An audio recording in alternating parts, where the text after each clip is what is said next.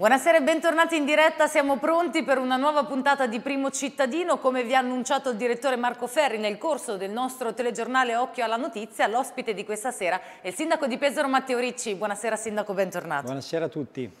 0721 86 14 33 è il numero di telefono dedicato alle vostre segnalazioni, alle vostre domande al primo cittadino, ma potete inviarci anche un messaggio pure con Whatsapp al 338 4968 250. Sindaco, purtroppo oggi le Marche hanno cambiato colore, sono ritornate in zona arancione, preoccupano i contagi, preoccupano le varianti. Lei già sabato scorso aveva eh, lanciato un appello al governo anche per chiedere un accordo a livello nazionale per eseguire più eh, controlli, più tamponi negli istituti scolastici e salvare anche l'anno. Tra l'altro era dell'idea di concentrarsi magari sulle chiusure ad Ancona, nella provincia di Ancona e salvare magari le altre. Oggi è stata impugnata addirittura l'ordinanza regionale eh, mm, che riguarda la didattica a distanza è stata impugnata al TAR delle Marche. Come legge questa notizia? Che cosa è successo secondo lei? Ma intanto noi purtroppo dobbiamo registrare che la campagna di vaccinazione sta proseguendo ma a dei ritmi più lenti rispetto a quelli che tutti noi ci auguravamo. Questo a mio parere rende ancora più importante il tema dello screening, perché è evidente che è fondamentale fare i vaccini nel più breve tempo possibile. Oggi Draghi ha anche cambiato il commissario proprio per eh, provare a innescare un meccanismo organizzativo, speriamo più snello, sperando che le forniture arrivino davvero eh, in maniera più massiccia rispetto agli ultimi giorni. E questo è un problema ovviamente italiano. Eh, credo anche che sulla vaccinazione nelle Marche si potesse fare qualcosa di meglio, nel senso che dovremmo, a mio parere, dovevano fare la vaccinazione in più comuni contemporaneamente. L'aver concentrato la vaccinazione degli ottantenni soltanto a Pesaro, Fano ed Urbino sta creando diversi problemi eh, e disagi, soprattutto nelle aree interne, per gli spostamenti, perché stiamo parlando ovviamente di, di ultra ottantenni, quindi di persone che spesso e volentieri non guidano, che devono essere accompagnate, che hanno problemi anche eh, magari fisici, di salute, quindi eh, credo che avrebbero dovuto organizzare più punti per la vaccinazione.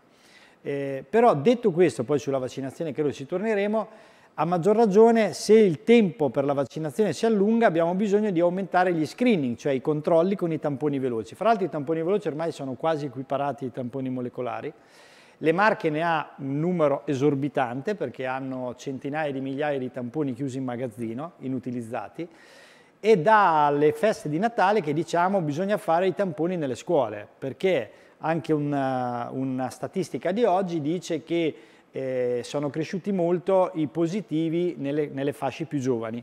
E quindi fare i tamponi nelle scuole consente di riaprire la scuola di sicurezza.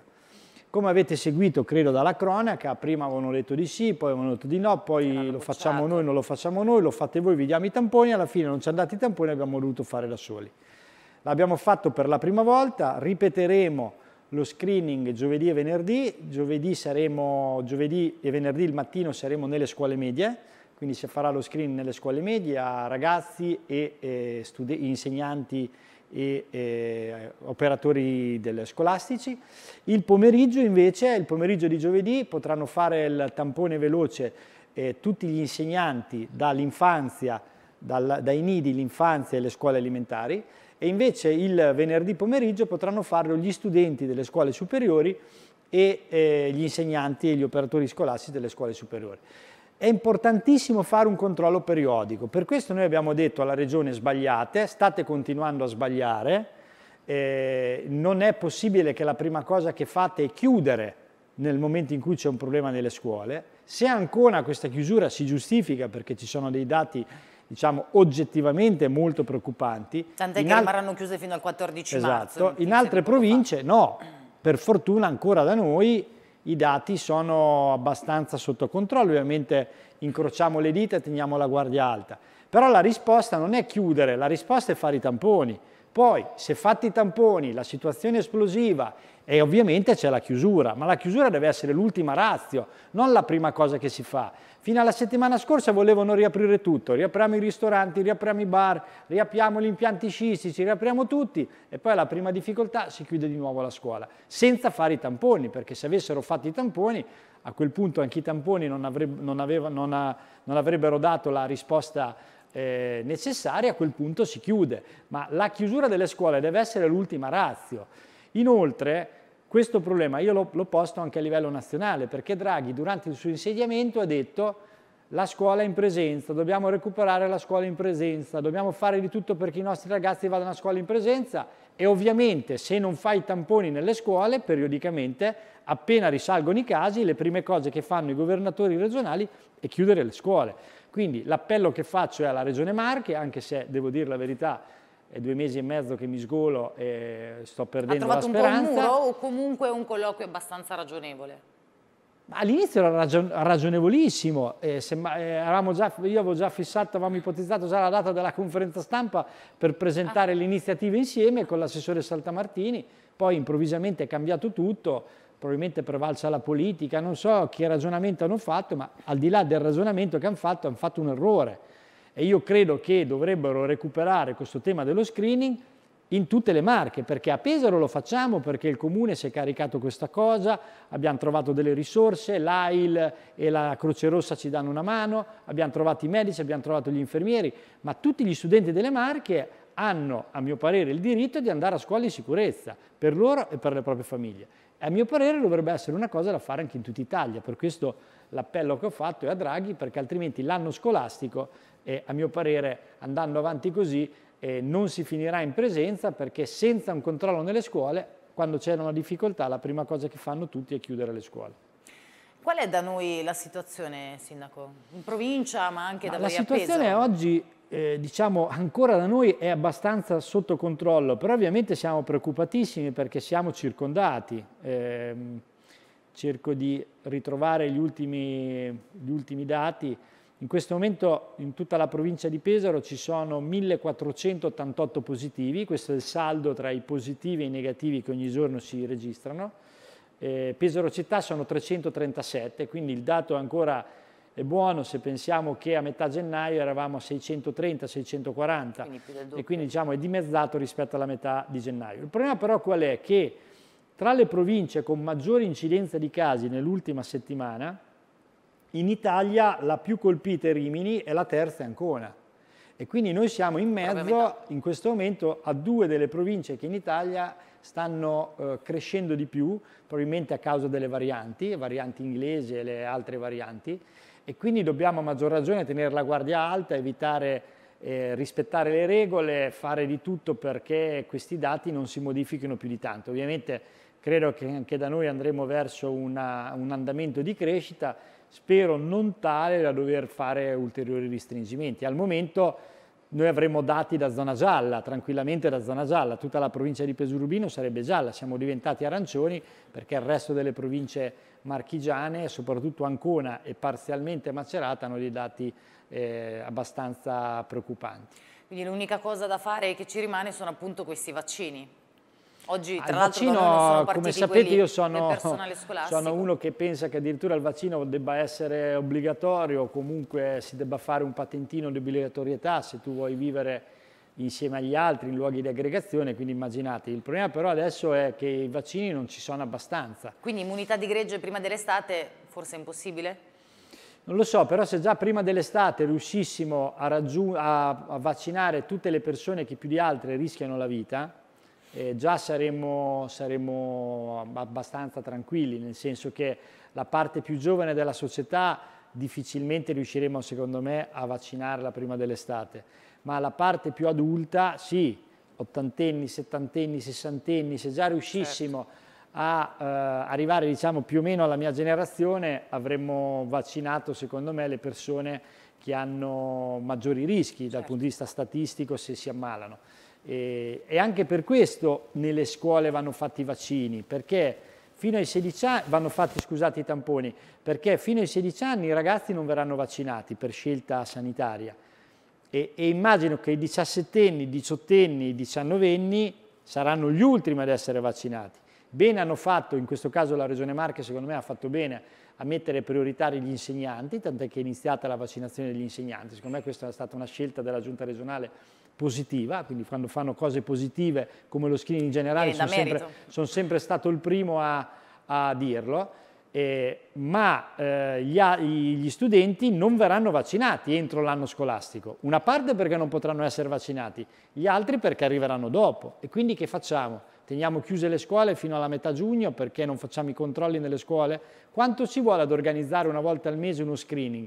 E non mi si dica più che il problema è il personale, perché a Pesaro non è che lo screening e i tamponi veloci li fanno gli uscieri del comune o gli operai del centro operativo, li fanno medici e infermieri che grazie all'AIL e alla Croce Rossa vengono organizzati e coordinati. Quindi se li abbiamo trovati noi, i medici e gli infermieri, li poteva trovare anche la Regione Marchi in tutta la Regione. Volere e potere, garantire a volte volere non è potere, però diciamo volere eh, spesso e volentieri aiuta. In questo caso non si è voluta fare un'operazione che era alla portata, io temo, esclusivamente perché la proposta è venuta da parte del sindaco di Pesaro. Non si può ragionare così quando si parla dal punto di vista istituzionale e quando si parla soprattutto di scuola e di salute.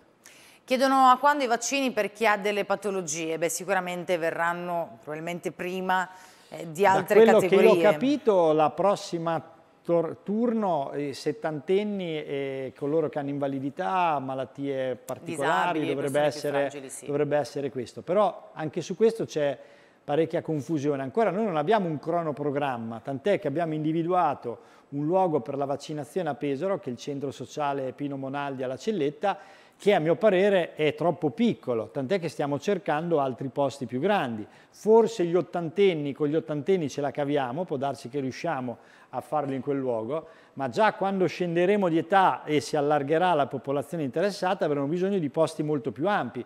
Noi stiamo chiedendo una programmazione in modo tale da, da, da, far sì che i comuni possano collaborare mettendo a disposizione eh, luoghi più grandi e soprattutto grazie alla collaborazione dell'Associazione degli Industriali stiamo cercando anche capannoni industriali che possano, fare, eh, che possano essere messi a disposizione per la grande campagna di vaccinazione. E c'è già anche qualcuno che sta, facendo, sta avanzando delle proposte? Sì, sì, la BS stessa è stata la prima, abbiamo contatti con l'imprenditore Fulgini che ha un capannone interessante e devo dire che lo stesso Presidente degli Industriali si è messo a disposizione per verificare se ci sono capannoni disponibili, ovviamente fuori da, eh, eh, liberi da attività produttive, che possono aiutarci perché abbiamo bisogno di grandi spazi. Ad esempio il Pino Monaldi è un luogo organizzato bene, però a mio parere, io ho fatto un sopralluogo l'altro giorno, è un po' compresso, se non piove va bene, io temo che alla prima pioggia qualche problema potrà venire fuori, quindi ho chiesto ai miei assessori di individuare un luogo più grande già da adesso, perché se eh, l'ASUR lo riterrà necessario siamo anche pronti a spostarci in un luogo più grande. Buonasera, vorrei sapere perché non si parla mai delle associazioni dei circoli chiusi da ottobre. Volevo solo avere un parere del sindaco, si vede eh, in giro tanto assembramento, locali che fanno sport per modo di dire ed è una vergogna. Ma proprio oggi abbiamo approvato in giunta una delibera che dà un contributo a, questi circoli che sono chiusi da una vita. Credo che siamo, saremo uno dei pochi comuni in Italia a farlo. Effettivamente i circoli sono stati molto colpiti come tante attività, ma i circoli di più perché quando siamo in zona gialla i bar riaprono, i ristoranti ugualmente e i circoli no perché vengono considerati luogo aggregativo, ma una parte dei circoli ha attività eh, diciamo a bar all'interno che sono attività private esattamente come, come, quelle che non sono dentro i circoli. Quindi c'è questa discriminanza, è una discriminanza nazionale, eh, abbiamo mh, eh, cercato di dare una mano e oggi abbiamo approvato una delibera che darà un minimo di sostegno a questi circoli, anche qui con risorse del Comune di Pesaro. Noi davvero stiamo, stiamo facendo uno sforzo straordinario per andare incontra i cittadini, i bonus spesa, i bonus bambini, i bonus spesa tre volte li abbiamo fatti, eh, un fondo anticrisi di 400 mila euro che è in corso, è aperto in questo momento, per aiutare le famiglie a pagare le bollette, a pagare l'affitto e quindi invito tutti ad andare sul sito del comune, chi ne ha bisogno e fare la domanda perché più o meno arriveranno 1000 euro a famiglia, circa 400 famiglie avranno 1000 euro di sostegno di media. E poi abbiamo stanziato 500 mila euro per la Tari per le attività più colpite, bar, ristoranti, alberghi, agenzie viaggio, palestre e in questo caso rimborseremo tra il 40 e il 50% della Tari pagata nel 2020, l'intero eh, pagamento del 2020, quindi stiamo parlando anche qui di risorse importanti. Ce la stiamo mettendo tutta, stiamo cercando di risparmiare ovunque e di utilizzare al meglio le risorse che lo Stato ci ha dato nel 2020 per le minori entrate che abbiamo avuto come, come amministrazione comunale. Prima di andare avanti con i messaggi dei cittadini, visto che ha tirato fuori questo discorso, le chiedo se ha saputo e che cosa ne pensa della battaglia che sta portando avanti il sindaco di Fano Massimo Seri, il quale parla di una distribuzione non equa dei fondi dello Stato perché eh, sostiene il fatto che molte risorse siano destinate esclusivamente ai comuni capoluogo. Ma fa bene, è una eh, campagna che mi ha, che mi ha anche in qualche modo invitato a seguire come presidente di Ali, come eh, membro anche dell'ufficio di presidenza di ANCI e quindi è una battaglia giusta perché abbiamo bisogno, eh, in questi anni abbiamo lavorato molto sui piccoli comuni e c'è tantissimo da fare perché abbiamo situazioni nei piccoli comuni davvero difficilissime. Però effettivamente a volte sfuggono dal radar delle città italiane città vere, cioè città che hanno eh, decine di migliaia di abitanti ma che non sono capoluogo e a volte capoluoghi più piccoli di Fano magari hanno un vantaggio in più eh, rispetto a Fano stessa che comunque è una città di quasi 60.000 abitanti quindi è una battaglia giusta quella che Massimo fa che non riguarda solo Fano ma riguarda decine di città italiane medie che magari non rientrano a volte come dovrebbero dentro la ripartizione di risorse nazionali. Due messaggi per lei. Ciao Matteo, nella tua partecipazione primo cittadino del 5 ottobre scorso avevi detto che avevi presentato al CONI un progetto per un circuito con spese a loro carico. In caso di rifiuto avresti proseguito a spese del comune. Ti chiedo che punto si trova. Scusami, ma eh, fa risollevare il ciclismo giovanile. E ancora sì. chiedono l'anello per i ciclisti quando partirà, se in primavera, come sì, ha detto l'assessore Belloni. Sempre la stessa cosa. Aspetta, guardo perché ho mandato proprio prima non mi ha ancora risposto. Eh, allora, la questione è questa. Noi abbiamo avuto l'ok dal Ministero dello Sport per un finanziamento per l'impianto ciclorotellistico. L'impianto complessivamente costa un milione e mezzo. Dobbiamo capire se ci danno il milione e mezzo o ci danno 850 mila euro. Questa è l'incognita che ancora eh, non è stata definita. È rimasta appesa questa decisione perché nel frattempo è cambiato il governo, siamo in attesa della, del, della, nomina del nuovo delegato allo sport, quindi non c'è più il ministro Spadafora, non c'è il Ministero dello Sport, lo sport è una delega che verrà assegnata al sottosegretario, ma ancora non c'è il sottosegretario. Quindi diciamo che è un provvedimento che ha la firma, appena ci sarà il sottosegretario verrà firmato, eh, l'incognita che abbiamo è questa, se mettono un milione e mezzo mettono 850 mila, se dovessero mettere 850 mila noi ci siamo già impegnati come comune a mettere il resto, quindi siamo a un passo decisivo, spero nelle prossime settimane di poter comunicare qualcosa in più dal punto di vista ufficiale e magari anche la tempistica. Nel frattempo sul progetto si sta andando avanti, quindi eh, confido di poter recuperare il ritardo su questo tema e con l'impianto ciclorotellistico anche di completare diciamo, da, nel mio mandato anche i vari interventi negli impianti sportivi perché davvero stiamo intervenendo ovunque e, e questo tema del ciclismo e anche del pattinaggio era una delle cose che mancava, spero nelle prossime settimane di dare informazioni più ufficiali rispetto a quello che ho dato, però come avete capito siamo in dirittura d'arrivo. Abbiamo tanti messaggi interessanti per lei, ma abbiamo anche una telefonica. Buonasera, che c'è in linea? Volevo salutare... Pronto? La sentiamo, buonasera. Buonasera, volevo salutare il sindaco, eh, lo vedo in ottima forma, sono contento. Eh, volevo chiedere al sindaco eh, che, mh, mm, sul fatto che la nostra città è senza dubbio più bella, mh, mm, grazie, anche alla sua, grazie soprattutto alla sua attività. Però mh, mm, noto che, eh, diciamo che dal punto di vista della macchina amministrativa non sempre lo ha secondato. Eh, mi, riferisco mi, riferisco in particolare alle aziende partecipate. Prendo ad esempio l'Aspes. Mm, L'Aspes eh, si occupa di molte cose, forse a mio modesto parere di troppe cose, ma eh, rimanendo diciamo, al suo compito originario, che era quello del verde, noto che questo settore mh, mm, non, è, non riceve le cure che merita. Ehm, tanto per andare poi sul concreto, eh, ci, sono, mh, mm, ci, sono, delle vie che sono prive di alberature ed è brutto veramente. Tanto per fare un esempio ancora più nel concreto, eh, cito Viale, Viale, Trieste che diciamo, è, la, è, il viale con più alto tasso di eh, com, dire, visibilità turistica. Bene, mi sono preso la briga di contare eh, quante sono eh, le, le aiuole prive di alberi. Sono una quarantina, una enormità che non sarebbe nulla se non divenisse, se non queste, queste aiuole non fossero poi diciamo, il deposito di immondizie varie e questo non va bene. Mm, mi, mi, stupisce perché vedo, devo dire, molto spesso il suo Presidente, il Presidente Aspes, sempre molto presente sui media quando si tratta di inaugurazioni. Io vorrei, eh, auspicherei che fosse molto più presente anche su quello che è le manutenzioni. Anzi, lei aveva lanciato una proposta, Sindaco, quello di, uh, di un'app che, eh, con la quale poi eh, dire, raccordarsi con ehm, eh, con Aspis per l'intervento. Questo ancora non, non, l'ho visto, come si fa per le, per le buche, diciamo. L'app buca, Le, le buche la sta usando ecco. quella delle buche?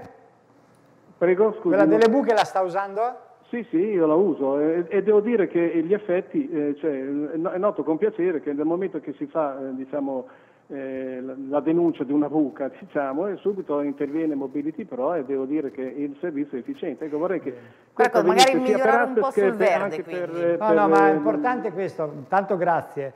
Allora, sull'app eh, a me piacerebbe applicarla anche al verde, volevo, adesso faremo un po' un bilancio con questo Covid purtroppo siamo travolti dalle emergenze quotidiane, dai cambi di, di norme, quindi però volevamo fare un po' un bilancio a un anno, credo, siamo adesso a un anno dall'app Buche, Buca si chiama, per vedere se le persone la usano, che riscontro hanno, eccetera, e se possiamo applicarla ad altro. Quello del verde è sicuramente un tema sulla quale applicarla, quindi eh, prendo lo spunto da, dal telespettatore per vedere di provare a allargare quell'esperimento anche al tema del verde. Su Viale Trieste, allora, gli alberi a Pesaro ne stiamo piantando anche molti da molte parti, stiamo lavorando molto sui boschi urbani perché Società Autostrada dovrà realizzare dei boschi urbani, se ne sta occupando in particolar modo il consigliere Gambini insieme all'assessore Belloni ovviamente ad altri e quindi andremo a piantumare un sacco di, di alberi, questo è importante per le CO2 e in generale appunto per il verde in città. Eh, per quello che diceva l'arredo urbano, in Viale Trieste in genere i lavori sulle piante e la piantumazione viene fatta in primavera, quindi immagino che molti di quelle aiuole libere che vede saranno riempite nel giro di poco da, da, da piantumazioni nuove, soprattutto con l'arrivo della primavera. E comunque domattina lo verifico subito.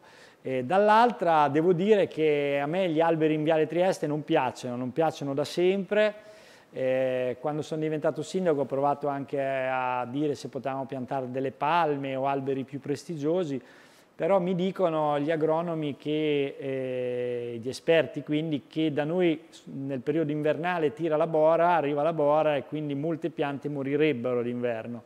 E quindi quegli alberi che ci sono, che non sono il massimo, sono tra i pochi che resistono al, al vento.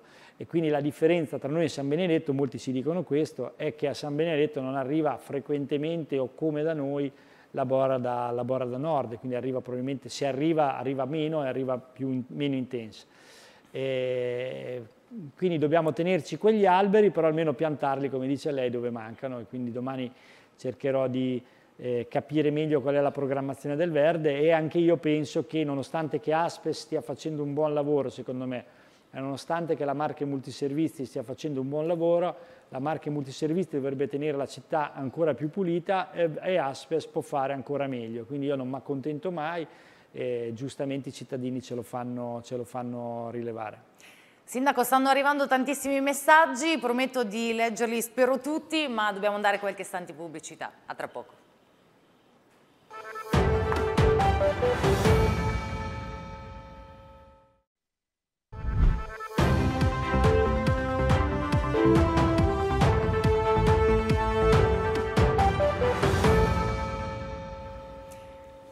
Bene, siamo di nuovo in diretta con il sindaco di Pesaro Matteo Ricci. Inizio subito con un messaggino un po' lungo. Vorrei chiedere al sindaco Ricci perché ha riscontrato tanta mancanza di collaborazione da parte della regione riguardo alla disponibilità di tamponi mirati per le scuole. A Fossombrone, ci dice, i test a tappeto hanno trovato una percentuale bassissima di positivi, mentre i casi sospetti tra i bambini fanno fatica ad essere monitorati e in taluni casi hanno dovuto recarsi di persona fino a Fano. Per non parlare della didattica a distanza, sia a gennaio in zona gialla, gialla, sia ora alle superiori anche non in zona rossa, una vera iattura per gli studenti.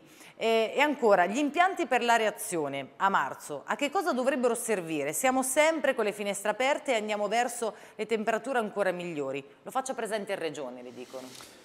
Sì, beh, gli impianti di, are di, areazione alla fine secondo me serviranno in generale anche nei prossimi mesi, nelle scuole, nei prossimi anni, comunque saranno quelle innovazioni che introdotte nella scuola, nell'edilizia scolastica miglioreranno sicuramente la qualità della scuola, la qualità degli uffici, a me me ne regalano ogni tanto, viene qualcuno a propormi delle, delle iniziative, l'altro giorno me ne hanno regalato uno, lo tengo in ufficio, quindi di certo eh, questi meccanismi sicuramente favoriscono, favoriscono il miglioramento dell'aria, anche se a volte aprire le finestre è la cosa più semplice che si può fare, anche forse la più efficace.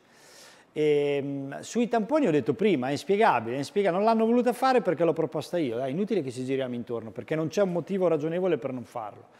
Lo screening generale che avevano fatto aveva dato, a mio parere, un'efficacia ridotta, e lo screening di comunità non è che me lo invento io, lo suggerisce il Ministero della Salute, non mi sono ricordato, quest'altra volta ve la porto, c'è un'indicazione del Ministero della Salute che, che spinge le regioni a fare screening di comunità nelle scuole, nelle aziende, negli, nelle società sportive, cioè in tutti i luoghi che fanno comunità, perché più lo screening è fatto nelle comunità è più efficace. Eh, non a caso eh, c'è stata da noi anche una partecipazione nella scuola superiore molto alta, molto diversa dalla buona partecipazione che c'era scatta sullo screening generale dei cittadini, eh, che devo dire, non, io non so, più, non so, più, che dire, cioè, l'abbiamo fatto anche con le nostre forze per dimostrare che serviva. Eh, gli abbiamo richiesto se lo facevano, ci hanno risposto di no, lo rifacciamo da soli, eh, io, io, più di così non so, non so che fare, andiamo anche nelle scuole medie, quindi lo facciamo anche nelle scuole medie. Più di questo sinceramente non so che fare, spero che prima o poi mettano da parte la politica, la campagna elettorale che è finita da un bel pezzo e inizino a collaborare. Se un'idea buona viene da un amministratore che magari politicamente la pensa diversamente e che diamine, la si prenda buona e la si faccia insieme. Eh, non, non, si può ragionare così, è un errore. È un errore, fra l'altro ho scoperto che non sono neanche l'unico sindaco perché l'ha fatto il sindaco di Monbaroccio, l'ha fatto il sindaco di Civitanova se non sbaglio, lo ha fatto un altro sindaco, in molti, addirittura in alcuni casi i tamponi li aveva dati la Fabriano regione. era? Eh. Eh, no, nel sud delle Marche, non mi ricordo, sì, però sì, voglio dire, non è che ci vuole un genio per capire che è una cosa che serve. Penso che, ripeto, non ci siano altre parole da aggiungere, c'è grande amarezza perché eravamo, ripeto, già pronti a fare la conferenza stampa con l'assessore alla sanità. E un botta risposta c'era stato anche in merito all'ospedale. E abbiamo una, una, domanda che le vuole porre un cittadino che ha il telefono in questo momento. Buonasera. Ah, buonasera, eh, allora io chiamo da San Lorenzo in Campo e ehm, la mia domanda, anzi più di una domanda, riguarda anche l'eventuale futura realizzazione dell'ospedale di Marche Nord. Eh, come cittadino di uno, diciamo, a confine con la provincia d'Ancona, eh, certo pensare a un ospedale Marche Nord al servizio di tutta la provincia di Pesaro mi trova un po' in difficoltà nel pensare che questo ospedale possa servire soltanto alla provincia. E se, se, se si vuole ricercare veramente l'eccellenza, secondo me potrebbe essere più che sufficiente avere l'eccellenza che abbiamo a Torrette come ospedale regionale. Questa è la prima osservazione. La seconda, quindi il Pesaro come ospedale Marche Nord non è sicuramente baricentrico per tutta la provincia.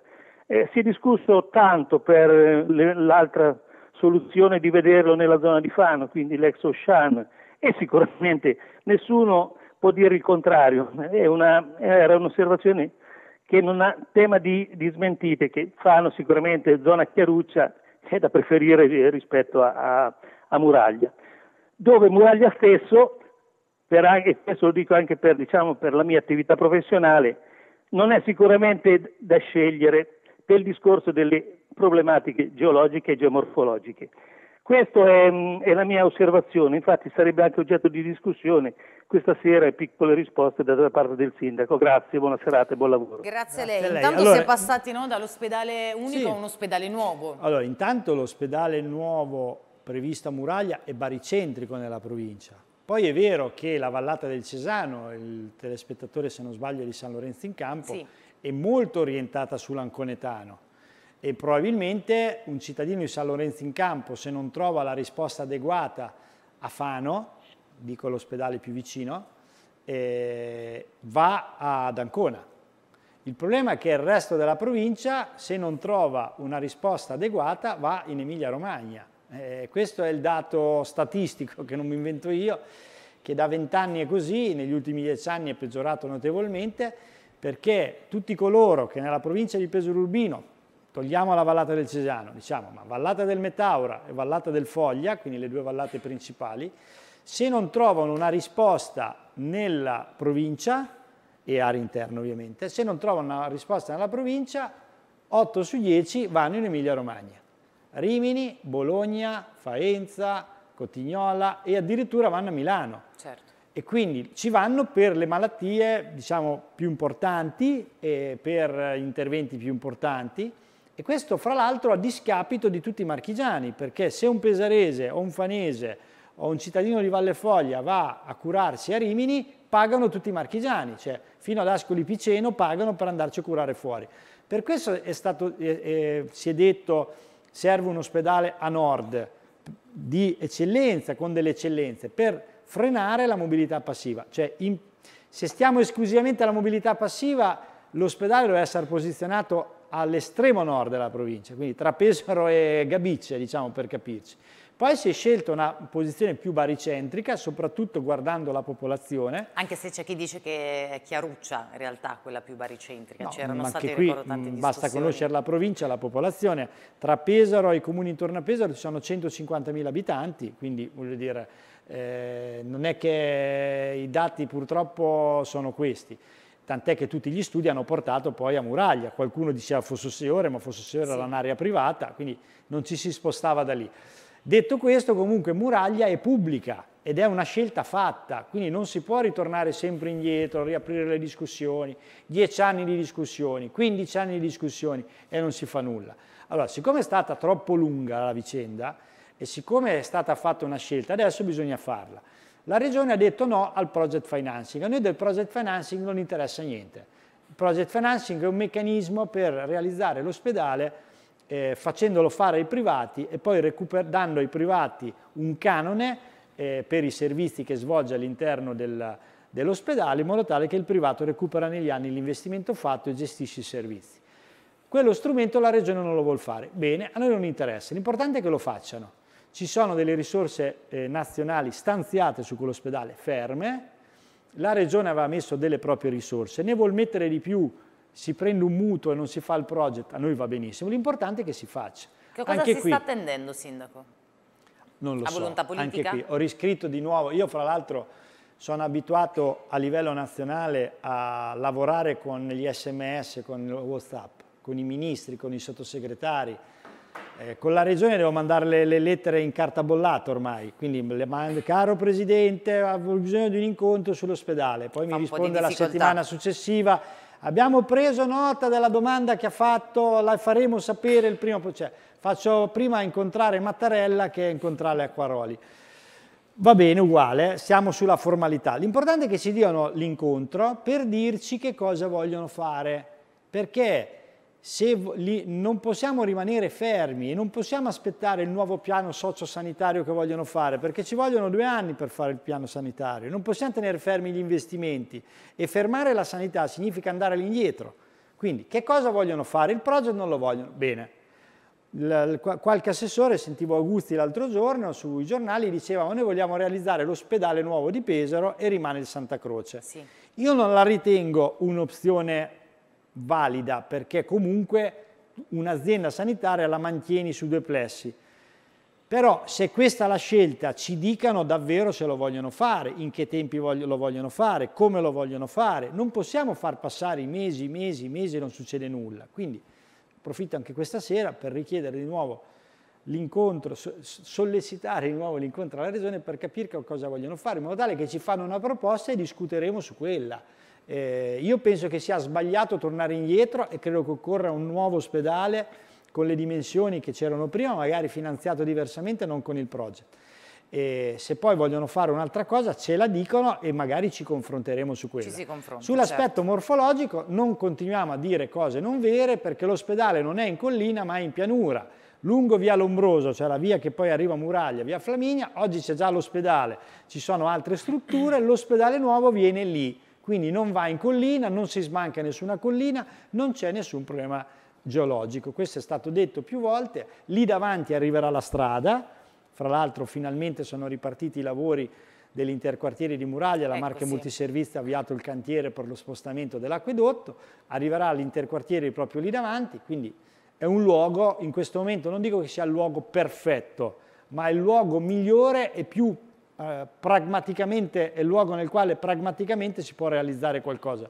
Se riapriamo complessivamente sempre le discussioni, ci rivediamo tra dieci anni qui, non avremo fatto E ancora, ancora siamo nulla. qua a parlarne. L'ex consorzio al porto è tutto bloccato per una contestazione eh, in corso. Ci sono delle novità? Anche questa è una situazione abbastanza surreale, mi hanno spiegato l'altro giorno i miei tecnici, anche perché è una questione molto tecnica, non eh, amministrativa, tantomeno politica.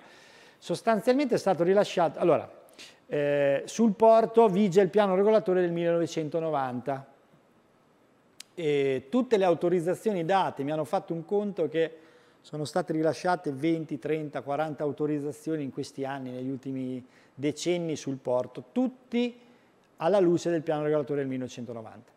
Noi ci siamo ritrovati, quando sono diventato sindaco, una previsione al posto dell'ex consorzio agrario, che è un luogo privato, che era stato acquistato dai privati, eh, di residenziale, primo piano commerciale e il resto residenziale. Noi abbiamo contestato come amministrazione quel progetto ritenendolo troppo impattante. Allora, la mia opinione personale è che il residenziale sul porto non è una scelta urbanistica giusta.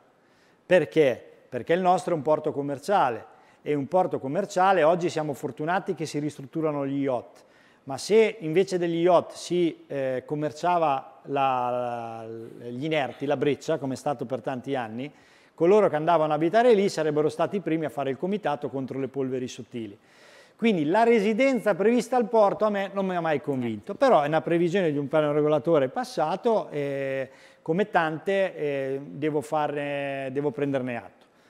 Abbiamo cercato come amministrazione di ridurre la volumetria delle previsioni urbanistiche, e, abbiamo portato una delibera in Consiglio Comunale, questa delibera è stata impugnata dai privati, hanno fatto ricorso al TAR e hanno vinto il ricorso al TAR.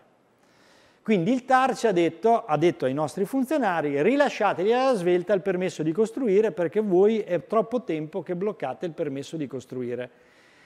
A quel punto i nostri uffici hanno fatto comunque una mediazione sulla volumetria, nonostante che avessimo perso al TAR, e è stato ridotto in altezza, in alcune dimensioni, diciamo, la, la struttura, non come io volevo, ma ovviamente il TAR ha dato ragione a loro e quindi non potevo fare altrimenti. Eh, a quel punto hanno rilasciato il permesso di costruire. Dopo tre anni, i privati nel frattempo hanno venduto fra di loro, credo che siano stati due passaggi dai privati, eh, hanno demolito finalmente una roba che era inguardabile, perché era una cosa inguardabile nel porto di Pesaro. La Capitaneria di Porto ha posto dei problemi perché secondo loro la procedura da seguire non era quella, era un'altra, il piano regolatore era quello, non era un altro, fatto sta che eh, ovviamente adesso la situazione è bloccata in attesa di capire eh, come ci si deve muovere. I privati nel frattempo hanno venduto, ci sono tante famiglie che hanno dato la caparra per l'appartamento che ovviamente chiederanno i danni a qualcuno, certo. i privati che hanno preso eh, il permesso, che hanno avuto il permesso di costruire, immagino che chiederanno danni a qualcuno, il comune ha già incassato gli oneri di urbanizzazione, immagino che questi li richiederanno eh, certo. indietro, cioè un pasticcio che non finisce più, quindi eh, ripeto, una vicenda che adesso ha preso una via eh, giudiziaria, c'è la procura che sta cercando di capire qual è lo strumento che andava, che andava definito, però mi pare, insomma, letta così, e mi pare una questione abbastanza, abbastanza surreale e spero che il prima, poi, prima possibile si capisca come dobbiamo proseguire, se non altro per dare certezze sia alla città ma anche a coloro che oggettivamente hanno delle aspettative eh, legittime su quel, su quel, luogo perché magari hanno fatto un acquisto o hanno, o hanno dato una caparra per un'abitazione. Sindaco, ancora idee e progetti. Le chiedono che cosa ne pensa della proposta del sindaco Occhielli di una ferrovia che collega Pesaro e Urbino attraverso la Valle del Foglia, che è quindi una metropolitana leggera, diceva Occhielli. Ah, è un'idea molto suggestiva. Io penso che però prima noi dobbiamo fare la, la strada Pesaro-Urbino.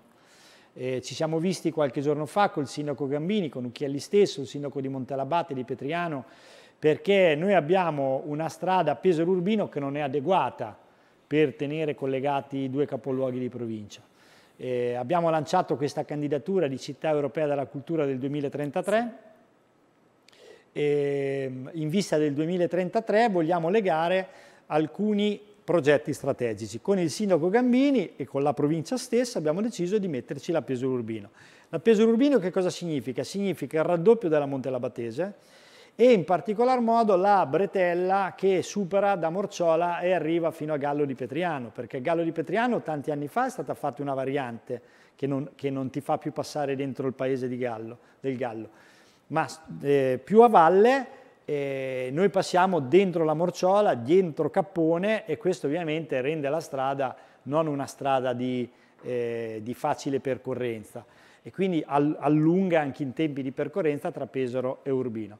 È un intervento complessivamente, adesso facendo, la provincia sta facendo il piano di fattibilità, però stiamo parlando complessivamente di tutto l'intervento di circa 200 milioni di euro, è una cifra consistente ma non impossibile, soprattutto se la leghiamo alla candidatura di Pesaro Urbino, capitale europea della cultura, e se la leghiamo alla prossima partita del Recovery Plan. Quindi siamo in attesa di un piccolo studio che sta facendo la provincia eh, anche per aggiornare gli importi economici. Appena avremo questo chiederemo un incontro alla Regione, all'ANAS e al Ministero delle Infrastrutture per portare avanti questa battaglia. Mi sembra prioritaria perché eh, oggi mentre Fano e Urbino sono collegate da una superstrada, eh, dalla, dalla E78, Pesaro e Urbino sono collegate dalla Montelabattese e da una strada che in parte è una strada interna.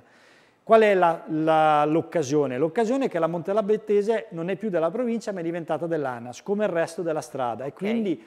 Essendo diventata una strada statale secondo me adesso abbiamo più possibilità di trovare quelle risorse perché 200 milioni nel bilancio della provincia erano impossibili da trovare, nei comuni tanto, eh, ancora peggio, mentre invece in un bilancio dell'ANAS se la mettiamo tra le priorità infrastrutturali di questa provincia e di questa regione nei prossimi anni può essere una sfida da vincere verso il 2033 sperando appunto di diventare capitale europea della cultura. Quando si farà il proseguimento di Vede gli Abiti che si aggancia alla rotatoria del lobby? Eh, questa è un'altra cosa che deve essere completata, abbiamo molti lavori in corso, devo dire che stiamo cercando di favorire, di lavorare il più possibile per snellire le procedure, mettere al lavoro i lavori pubblici, abbiamo portato a Pesaro tantissime risorse europee, statali e sono convinto che in questo 2021 ne porteremo altrettante. Il problema è che dobbiamo riuscire a spenderle e fatichiamo a spendere le risorse che abbiamo per fare gli investimenti. Le procedure sono lunghissime, a mio parere c'è da dare più gas dentro la, la struttura pubblica, io mi lamento spesso su questo, anche se devo dire che ho dei collaboratori molto validi, però vorrei un comune più veloce, più snello, abbiamo bisogno di correre, abbiamo bisogno di fare, e la legislatura fra l'altro corre veloce perché già siamo nel 2021, eh, finisce nel 2024 e quindi è chiaro che soprattutto i lavori più importanti, se non riusciamo a farli a partire velocemente, li vedranno i prossimi amministratori, però oggettivamente tutti i sindaci vorrebbero vedere realizzate più cose possibili di quelle che hanno messo in campo e soprattutto che hanno finanziato.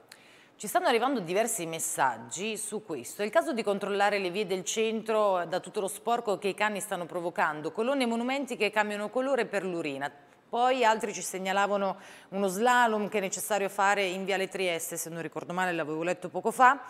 Esatto, in Viale Trieste. Ci sono questi tipi di controlli? Sì, allora, prima del Covid avevamo voluto verificare anche questa storia del DNA, poi capite quando è arrivato il Covid sono state altre le priorità, certo. sinceramente non siamo riusciti più a pensare alle cacche dei cani, ci dispiace ma non è stata più una nostra priorità, però è vero, è vero, è vero perché c'è molta maleducazione, che non è dei cani ma dei padroni che non puliscono, io vedo tante persone, devo dire che chi vuole, coloro che vogliono bene al cane in genere sono quelli che puliscono di più, coloro che vivono il cane così in maniera superficiale spesso e volentieri sono quelli anche che, che puliscono di meno.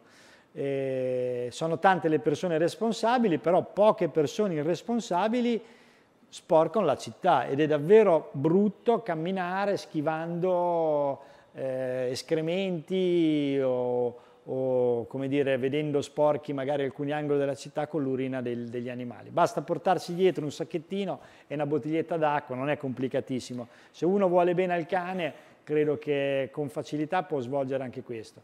Le multe è difficile farle perché le devi prendere nel fatto, ovviamente non è facilissimo, anche se alcune sono state fatte. La cosa più importante potrebbe essere questo meccanismo del DNA che costa molto, eh, però in alcune realtà l'hanno fatto con il contributo dell'azienda sanitaria, dell'ASUR, però sinceramente capite, io non me la sono sentita in questo anno di Covid certo. di andare a chiedere all'ASUR di, di, darci una non mano a cercare giusto. il DNA dei cani. Lo faremo appena il Covid sarà su, superato, speriamo nel frattempo che che i pesaresi si comportino con maggiore responsabilità anche su questo Ed educazione. Tema. Il sindaco Ricci sostiene su consiglio degli agronomi che in Viale Trieste a Pesaro non è il caso di piantare le palme per via della Bora. A Fano, alla cavea, alla cavea del Lido, che cosa pianteranno? Le palme. Ed è vero, insomma cercheremo di capire anche oh, beh, a Fano perché hanno Sarà annunciato... un esperimento e quindi alla fine se a, a Fano reggerà, reggeranno vuol dire che lo farò anche a Pesaro mi arrabbierò con gli agronomi che mi hanno detto che non tengono.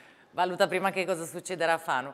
Caro Matteo, abbiamo in città diverse brutture tipo Villa Marina e vari impianti, le due casette fatiscenti nella prima curva della panoramica, ma anche il carcere minorile. Che cosa state facendo per questo? Allora, eh, Villa Marina ci sono novità importanti perché stiamo trattando l'acquisto della parte sportiva, nel senso che, allora, Villa Marina intanto non è del comune, è dell'Inps, lo ridico perché eh, questi beni fatiscenti che vedete, tranne uno, poi dirò, non sono del comune e quindi è, è più difficile per noi intervenire. Allora, Villa Marina, eh, la novità qual è? Che scendendo su Viale Trieste, la parte a sinistra, quindi non quella verso il mare, l'altra, quella sportiva, la vogliamo comprare come comune. Eh, Antonello Delle Noci sta trattando con IMSS eh, il prezzo, speriamo entro il fine marzo di concludere l'operazione perché a noi interessa fare il parcheggio come abbiamo sperimentato l'anno scorso nell'area dove c'erano prima, eh, qualche anno fa, c'era il campo da calcio e i campi da basket. È un'area oggi tutta cementata e abbiamo già fatto il parcheggio temporaneo l'anno scorso, noi vogliamo farlo definitivo perché lì un parcheggio gratuito è fondamentale per la zona mare e la zona porto, soprattutto nel periodo estivo. La parte invece sportiva eh, dove c'era la palestra, quella la metteremo a bando quindi faremo un bando e coloro che vorranno rigestire l'area sportiva potranno fare un'offerta, ci sarà un bando pubblico presumibilmente nel mese di aprile in modo tale che prima dell'estate si possa riaprire per lo sport quell'area e, e quindi speriamo che ci siano diversi interessamenti che possano partecipare. La parte invece lato mare, la vecchia colonia, l'Inps proverà di nuovo a fare una vendita, credo che gli incentivi che ci sono bonus facciate, sisma bonus, eh, eco bonus al 110, renderà più appetibile questa volta la gara che faranno per la vendita di, della, della, zona e al tempo stesso eh, invece noi avremo bisogno della, la, della palazzina di Pesaro Studi, l'ex palazzina di Pesaro Studi, perché avremo bisogno lì di spostare temporaneamente la scuola Dante Alighieri. Nella scuola Dante Alighieri la faremo nuova, abbiamo fatto nuova la scuola media di Via La Marmora, faremo sì. nuova la scuola media di Dante Alighieri, abbiamo già i soldi tutto, per almeno un anno dovremo spostare la scuola in un altro edificio e quindi abbiamo chiesto all'Inps se possiamo utilizzare Pesaro Studi per ospitare la Dante Alighieri per un anno, anche perché la Dante Alighieri a Soria, diciamo, è di là del porto. Eh, in linea d'aria quella, quella palazzina è la palazzina più vicina in modo tale da non creare troppi problemi anche alle famiglie che in genere vanno in una scuola non sempre ma soprattutto se è più vicina alle loro abitazioni. Quindi questo è eh, Villa Marina. Eh, Cos'erano le altre cose che chiedevano? Ci sono due casette fatiscenti sulla panoramica. Lì abbiamo fatto le ordinanze, quelle sono private e quelle gli rifaremo l'ordinanza ecco. antidegrado, eh, ne abbiamo fatte tante, quelle sono private. Poi? Vuole sempre quello lì? Quel messaggio lì? No, se vogliamo rispondere a tutti, se non abbiamo tempo, altri, se no eh? spero che basti Villa Marina. È il carcere, il carcere minorile. Oh, il carcere minorile invece è del comune della provincia. Ci sono dei vincoli in una parte che ancora non ci hanno permesso di venderla. Siamo stati fermi perché la Regione sembrava che ne avesse bisogno per allargare il centro per l'impiego, invece non ne ha bisogno e adesso metteremo in vendita anche quello.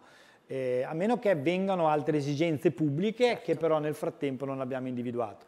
Anche per quello ancora non abbiamo messo mano a Piazzale Primo Maggio, quindi il ritardo sull'ex carcere minorile ci ha ritardato anche l'intervento su Piazzale Primo Maggio, mentre invece di là di Piazzale Primo Maggio, come i cittadini che passano lì avranno visto, stanno andando avanti spediti i lavori sull'ex Palazzetto dello Sport, il vecchio Palazzetto dello Sport e crediamo, questo è il cronoprogramma, che per l'estate saremo in grado di inaugurare il nuovo auditorium o il nuovo Pala Scavolini perché prenderà il nome della famiglia Scavolini. Eh, siamo in chiusura quindi le andrò a leggere qualche messaggio uno dietro l'altro. Eh, complimenti per aver portato avanti la battaglia per Giulio Regeni, striscione compreso. C'è chi appena entra in carica come sindaco dopo aver sbandierato le priorità per le città, poi tolgono lo striscione medesimo come primo atto, mentre dovrebbe essere una battaglia di civiltà di tutti i cittadini italiani. L'ospedale di Fossombrone ancora sanità, eh, con tanto di diretta Facebook di Giorgia Meloni e Acquaroli che lo descrivevano come uno dei tanti disastri del centro-sinistra, è rimasto esattamente come gli, con gli stessi posti letto, quindi utilizzato per la post-degenza Covid come prima e nessuna prospettiva di ampliamento dei servizi. Un altro cittadino ci scrive, mm, sono un cittadino della provincia di Pesaro, vorrei dire al sindaco che chi non tutti possono vivere in città e chi vive nella campagna ha il diritto alla salute come chi vive a Pesaro. È ingiusto volerci allontanare dall'ospedale, abbiamo tutti gli stessi diritti, quindi suppongo che eh, abiti nell'entroterra.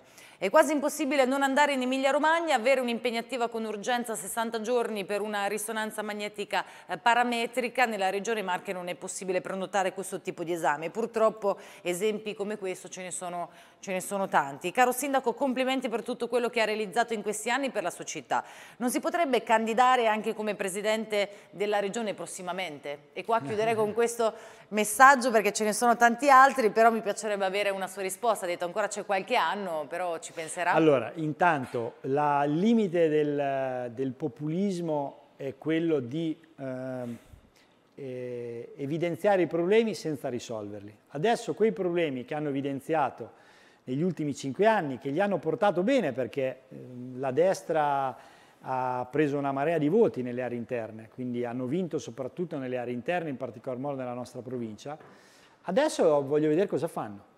Voglio vedere quanti ospedali piccoli riaprono, come raddoppieranno Fossombrone, eh, triplicheranno Sasso Corvaro, eh, quadruplicheranno Cagli. Eh, vediamo, vediamo se riusciranno a farlo, vediamo con quali, eh, facendo riferimento a quale norme, vedremo con quali risorse, vedremo se faranno l'ospedale di Pesaro o ci fanno perdere anche questa opportunità, vedremo se calerà la mobilità passiva per i motivi che diceva il telespettatore, sì. vedremo. Ovviamente ancora sono pochi mesi, non possiamo giudicarli in pochi mesi, però lasciatemi dire che i primi mesi non fanno ben sperare. Vedo molta confusione, eh, non una grande collaborazione istituzionale, soprattutto con questa parte a nord delle Marche, che vuole stare nelle Marche non vuole andare altrove, quindi io inviterei a, a trattare come gli altri territori. Eh, diciamo, l'inizio non è brillante, non è brillante. Eh, spero per i marchigiani che il proseguo possa essere, possa essere eh, migliore. Eh, per quello che riguarda invece eh, Regeni, eh, oggi abbiamo lanciato un'altra battaglia che è quella per Zacchi, perché è stata di nuovo prorogata la sua carcerazione di altri 45 giorni. È una questione importante per la democrazia, per coloro che credono nei diritti umani. Eh, non a caso domani sarò a Roma con la mia associazione Autonomie Locali Italiane, Ali, e chiederemo ai sindaci, già tanti l'hanno fatto autonomamente, di arrivare almeno mille comuni per chiedere la cittadinanza per Zacchi, perché questo potrebbe aiutare anche nei rapporti italo-egiziani a riportarlo a casa, a riportarlo nella sua Bologna, anche se non è eh, cittadino, eh, cittadino italiano. Tra l'altro vorrei anche ricordare che lei ha avuto un incarico importante da Zingaretti di coordinare un po' tutta l'attività dei sindaci, quindi una, anche un orgoglio penso per lei. Sì, è una, una bella bega, no, però credo che io ho sempre pensato che i sindaci italiani in generale e i sindaci diciamo riformisti di centrosinistra siano per la parte che politicamente rappresento un'energia fondamentale che spesso non è sotto i riflettori, io sono uno dei pochi sindaci che ha i riflettori addosso, eh, ma ci sono tante esperienze locali che davvero sono straordinarie, di persone eh, molto competenti, molto in gamba, che rappresentano al meglio le loro comunità e che a mio parere devono diventare sempre più gruppo dirigente nazionale. Questa sarà la mia funzione, senza però di nuovo eh, ricreare un logoramento sul leader di turno, perché eh, io ho iniziato la mia attività politica diciamo da adulto che c'era Fassino segretario, è stato eletto a Pesaro e dopo un po' che era eletto ha cominciato il logorio su Fassino. Poi è arrivato Veltroni, è arrivato Veltroni e ha iniziato il logorio interno su Veltroni, tant'è che si è dimesso nel 2009. Poi è arrivato Bersani, dopo un po' il logorio su Bersani. Poi è arrivato Renzi, un logorio lunghissimo su Renzi. Poi è, andato, è arrivato Zingaretti e abbiamo ricominciato anche con Zingaretti. Non se ne può più. Cioè è ovvio che un leader lo devi valutare quando ha finito il mandato. È stato eletto nel 2019, finisce nel 2023 lasciamolo lavorare quattro anni e poi nel 2023 se non avrà fatto bene lo cambieremo, vedremo come andrà. Magari si candiderà politiche. lei se non farà il Presidente Mi state candidando regione. un po' in troppi posti questa sera, quindi io sto cercando come durante la trasmissione credo di aver dimostrato di lavorare al massimo per la mia città, per la mia provincia, perché io ho molto a cuore anche la provincia di Pesaro Urbino, adesso mi sto interessando ancora di più perché quando io ero, ho fatto il Presidente della provincia cinque anni, sì andato a fare il sindaco, c'era Luca Ceriscioli che faceva il Presidente della Regione, diciamo che avevo un po' affidato a lui, agli assessori regionali, la, anche la, la, relazione con il resto del territorio. Adesso devo dire che l'ho ripresa in maniera molto forte con, tutti, con, tutto il territorio perché è compito del Comune di Pesaro anche dare la giusta rappresentanza a tutti i comuni della provincia e al tempo stesso sto cercando di fare politica nazionale, dando il mio contributo anche al mio paese e al tempo stesso sperando di rendere più competitiva la nostra terra, perché ho letto in questi giorni c'è una cosa del Corriere Adriatico, ci lamentiamo che contiamo poco, io devo dire che Pesaro in questi anni è contata di più rispetto valere. al passato e quindi credo che se tutti lavoriamo insieme si possa far contare complessivamente di più anche il resto della regione. Grazie al Sindaco di Pesaro Matteo Ricci per essere stato con noi e le auguro una buona serata. Grazie, Grazie a voi. Grazie anche a tutti voi per averci seguito, in regia Cristiana Guerra e Riccardo Sora. L'informazione torna domani mattina con il direttore Marco Ferri che commenterà i quotidiani. Grazie e arrivederci a domani.